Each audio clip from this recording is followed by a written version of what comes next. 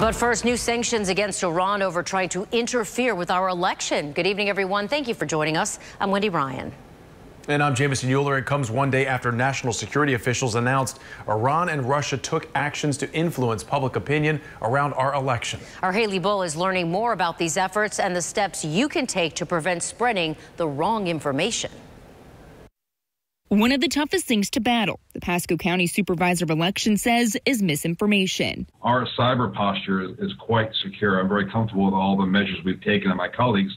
But one of the, the an avenue that's yet to be corralled because we can't control it is misinformation, mainly through social media. Each day they field calls and try to provide clarity for voters. What I tell voters is be very careful on social media because you know if you share something or like something or retweet something, um, there's a high likelihood it originated in, in you know, by nefarious state-state actors. Just this week, intelligence officials announced Iran and Russia got a hold of voter registration information, which can be used to try to spread false information. These actions are desperate attempts by desperate adversaries.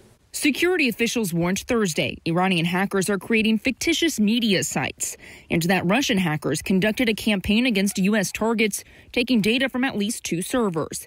Officials say so far they, quote, have no evidence to date that integrity of elections data has been compromised. You need to understand and get your information from a reputable source. Stacey Arruda is a retired FBI agent and CEO of the Arruda Group, a risk management firm with cybersecurity expertise. She says disinformation is nothing new. I would have to say that the absolute best intelligence service at this are the Russians. They just about invented it. They live it. It's ingrained in them. They are the best at disinformation. On voter info? A lot of that information is, is available in the public realm. So bad guys are going out there, scraping that information, putting it together, and selling it to other bad guys.